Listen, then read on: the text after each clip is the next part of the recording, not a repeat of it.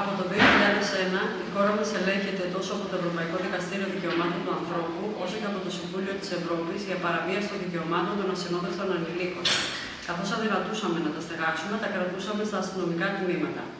Η ελληνική κυβέρνηση βάζει τέλος σε αυτή την πρακτική, τόσο σε νομοθετικό όσο και σε επιχειρησιακό επίπεδο, διασφαλίζοντας τα δικαιώματα των ασυνόδευτων ανηλίκων και το βέλτιστο συμφέρον τους.